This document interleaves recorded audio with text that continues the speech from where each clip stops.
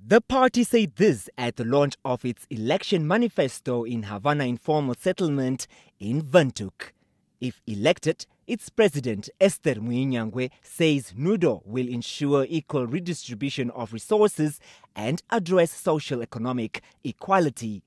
Muinjangue says the party decided to launch the manifesto in Havana in order to show solidarity with the rapid increase of informal settlements in Windhoek and other towns. 30 years after independence, our people continue to live in poverty while the few elite in the SWAPO-led government continue to bask in money and privileges at the expense of the poor and taxpayers. What a shame to our government.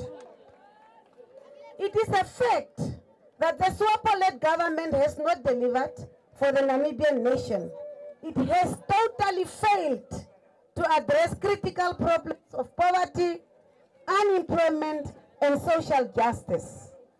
Under NUDO-led government, we will thus look at equal redistribution of wealth and social economic equity. NUDO also promised to abolish shacks, promote women empowerment, and root out corruption. NUDO will pass a new legislation that will create a robust anti-bribery and anti-corruption law with hefty punitive measures, replacing the current toothless anti-corruption commission. Under our new legislation, the Anti-Corruption Commission and the Prosecutor General shall report to Parliament on a quarterly basis regarding graft and corruption cases. NUDO will also leave no stone unturned on the issue of genocide reparations. Also speaking at the occasion was the party's Secretary General, Joseph Kauandenge.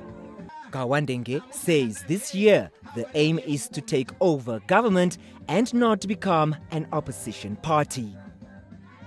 But I must tell you now today that even if SWAPO wants to rig the elections, those voices will speak even from beyond the grave.